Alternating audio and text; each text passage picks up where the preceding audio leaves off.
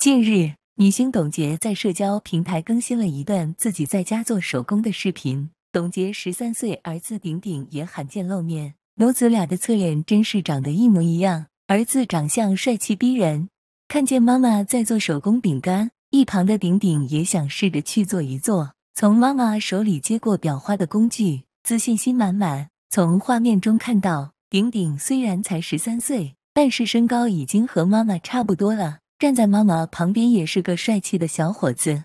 在做了几个饼之后，顶顶没有了之前的自信，拿着挤饼干的工具说：“也太难了，看着妈妈上手挺容易的，自己做起来还是有点难度。这难道就是传说中的一看就会，一学就废？”但是顶顶做的几个也还不错，造型很有艺术感。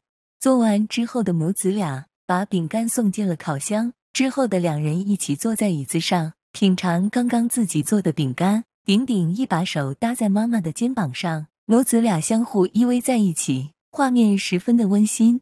帅气顶顶的出镜引发了网友们的热议，纷纷在评论区留言。好多网友都在下面评论说顶顶简直太帅了，还有网友说顶顶完全遗传了妈妈长相的优点，有点像小号的杨洋。不论像谁，都说明顶顶已经是个大帅哥了。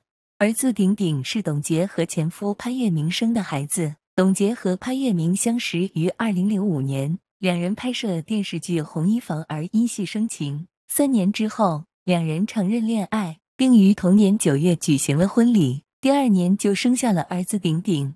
但是这段感情没有维持多久，之后潘粤明就被传出婚内出轨，两人的婚姻也遭遇危机。之后，董洁向法院起诉离婚。但是法院方面一直无法联系到潘粤明，这段婚姻也就一直搁置不了了事。